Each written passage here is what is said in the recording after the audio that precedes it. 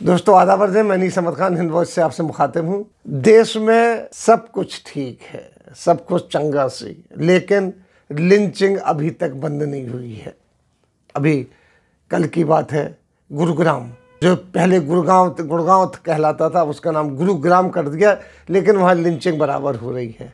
अभी कल की बात है, जैसे मैंने कहा है कि दो लड़कों को, दो मुस्लिम नौजवानों को पकड़ लिया उनको पीटा गया, उनको शुगर का गोश्त खिलाने की कोशिश की गई और उनके मुँह में एक सफ़ेद पाउडर डाला गया। वो सफ़ेद पाउडर किस चीज़ का था अभी तक पुलिस ने नहीं बताया, लेकिन उनके मोबाइल छुड़ा लिए गए और उनकी मोटरसाइकिल भी छुड़ा ली गई।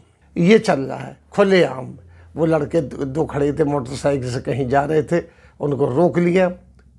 कुछ लोगों ने कार पे आए, उनसे पूछा, तुम क्या कर रहे हो? उन्होंने कहा, साहब, हम तो फलानी जगह जा रहे हैं। उन्होंने कहा, क्यों जा रहे हैं? उनका अपने काम से, किस सिलसिले में जा रहे हैं। उन्होंने रोका, उनको उनका नाम पूछा। एक का नाम अब्दुल रहमान एक का मोहम्मद आज़म था। तो उन्होंने जब नाम बताए तो उनको धार्मिक, धर्म से रिलेटेड गालियाँ उनको देना शुरू कर दी और उनको कहा कि हम तुम्हें सुअर का मांस खिलाएँगे। कितनी गलत बात है। और उनको सर एक साहब आए, उन्होंने अपनी कार की डिक्की खोली और एक के मुँह में सफ़ेद पाउडर डाल दिया। ये सब चल रहा है। गुरुग्राम। जो कि एक वर्ल्ड क्लास सिटी बनाई जा रही है, जिसमें कि इन आईटी के बड़े बड़े दफ्तर हैं, सारी चीज़ें हैं, लेकिन उसको एक बनाया जा रहा है और वहाँ पे ये चल रही है। ये पहली घटना नहीं, गुरुग्राम में इससे पहले भी दो तीन घटना हो गई। एक की टांग तोड़ दी गई थी, पब्लिक सारी देख रही थी, लोग वीडियो बजा रहे थे और उसको भी इसीलिए मारा गया था कि वो अपनी गाड़ी में गोश्त कहीं ले जा रहा था डिलीवर करने के लिए, डिलीवर करने के लिए। कहा गया कि गाय का गोश्त है, जो गाय का गोश्त नहीं निकला, वो अपना गोश्त का लीगल ट्रांसपोर्टेशन कर रहा था। और भी घटनाएँ वहाँ हुई हैं। घरों में घुस के मारा। अभी बीच में आपने देखा कि नमाज़ पढ़ने पे वहाँ रोका गया था। सारी चीज़ें वहाँ चल रही थी। लेकिन इतनी बड़ी सिटी होते हुए भी वहाँ के जो चीफ मिनिस्टर हैं हरियाणा के उन्होंने कह दिया था कि खुले में नमाज़ नहीं पढ़ी जा, जा सकती है। वहाँ भजन हो सकते हैं कीर्तन हो सकते हैं दरबार लग सकता है कुछ भी हो सकता है लेकिन नमाज़ नहीं पढ़ी जा सकती है। ये कैसी दुर्भावना है? वो फैल रही है हर जगह फैल रही है। वहीं नहीं लिंचिंग तो बिहार में भी आप देखिए और का, काफ़ी बड़ी हुई है। वहाँ भी हर आए दिन दो से तीसरा रोज एक न एक घटना ऐसी हो जाती है लिंचिंग की। अभी ताज़ा घटना ये हुई। इनके जो थे, जिन्होंने हरकत की थी, पुलिस ने जब खबर लगी तो उनमें से एक को गिरफ़्तार किया और बाकी को गिरफ़्तार करने के लिए पुलिस तलाश कर रही है। तलाश कर रही है वो तलाश कभी पूरी नहीं होगी, लेकिन इनको बिठा लिया गया जो जो जो विक्टिम थे, उनको बिठा लिए मोटरसाइकिल भी उनकी बरामद कर ली गई, लेकिन मोबाइल बरामद नहीं क्योंकि वो लोग लड़के पकड़े ही नहीं गए, वो पकड़े नहीं जाएँगे, क्योंकि उन्होंने मुसलमान से किया।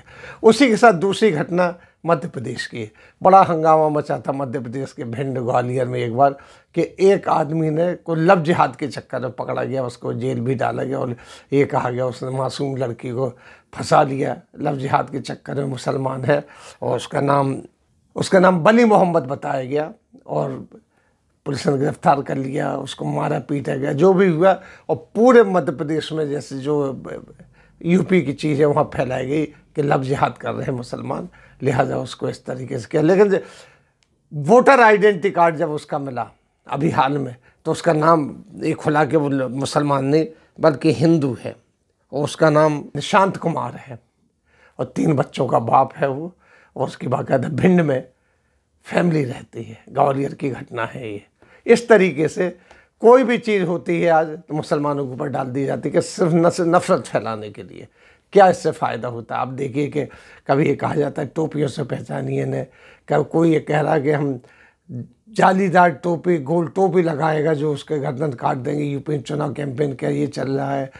कोई कुछ कह रहा है, कोई कुछ कह रहा है, मस्जिदों में जाके नमाज़ नहीं पढ़ने दे रहे, मध्य प्रदेश की तो ये हालत है उज्जैन की तरफ़ जल्द से जल्द उसकी तो बात ही छोड़ दीजिए। ये कट्टरता कहाँ ले जाएगी? अगर दो लड़के मोटरसाइकिल पर जा रहे हैं, वो भी गुरुग्राम जैसी जगह, गुड़गांव जैसी, कहना चाहिए सेकुलर माना जाएगा, उसमें उसमें दुनिया का हर बड़ा दफ्तर वहाँ पर है। तो वहाँ पर पकड़ के ज़बरदस्ती सुअर का मांस खिलाने की बात कही जा रही है उनसे, और उनके मुँह में सफ़ेद पाउडर ठूसा जा रहा है। ये कहाँ का इंसाफ है? और पुलिस, ठीक है, पुलिस ने एक को गिरफ़्तार कर लिया, दूसरे को गिरफ़्तार करेगी, कब करेगी? लेकिन ये चीज़ रुकती क्यों नहीं है? क्यों इनके ऊपर कोई सख्ती नहीं? और दूसरी तरफ़ से वहाँ बढ़ावा दिया जा रहा है ख़ास तौर पे आप देखिए हरियाणा में और खास खास तौर पे गुरुग्राम में, कि नमाज़ पढ़ने के ऊपर कितना हंगामा हुआ, किस बुरी तरीके से हंगामा हुआ वहाँ पर। जहाँ नमाज़ पढ़ते थे, वहाँ पर जाके हवन शुरू कर दिया, वहाँ पर भगवती जागरण शुरू कर दिया, वहाँ पर उन्होंने शिव पूजन शुरू कर दिया। इस तरीके से दुर्भावना फैलाई जा रही। वहीं नहीं, आप ये देखिए कि तमाम जगह जो उत्तराखंड से लेके और रायपुर, छत्तीसगढ़ तक में धर्म पंचायतें हो रही, धर्म सांसद हो रहे जिनमें सिर्फ़ सिर्फ़ और सिर्फ़ ये कहा जाए कि मुसलमानों को गला काट दो। मुसलमानों को मैसा कैर की बात हो रही है। इस तरीके से हो रहा है। और उसके ऊपर भी कोई संज्ञान नहीं लिया जा रहा है। वहीं ये चुनाव में उत्तर प्रदेश में कहा जाता है कि उनकी गर्दनें काट दी जाएँगी, जो टोपी लगाएगा, जो मुझे वोट नहीं देगा, वो मुसलमान है। इस तरीके की बात की जाती है। मुसलमान, हिंदू के आप वोट सब कुछ देते हैं, सब लोग देते हैं, लेकिन कहा जाता है कि जो हमें वोट नहीं देगा तो उसके खून में मुसलमान का खून है। इस तरीके की जो बातें की जाती हैं, ये कहाँ तक का इंसाफ है? और अभी हाल में इन सब चीज़ों के बाद हरियाणा में ये एक घटना और हो गई है। अब क्या कहें? कैसे कहें कि शर्म की बात है? कितना कहते हैं कि शर्म की बात है? हमें अपने भारत देश में जहाँ धर्मनिरपेक्षता है, वहाँ ऐसी चीज़ें नहीं होना चाहिए। हमारी अगली जनरेशन क्या सीखेगी? इसी के साथ हम आपसे लेते हैं विदा। अगले अंक में फिर हाजिर होंगे। तब तक के लिए दीजिए हम इजाज़त।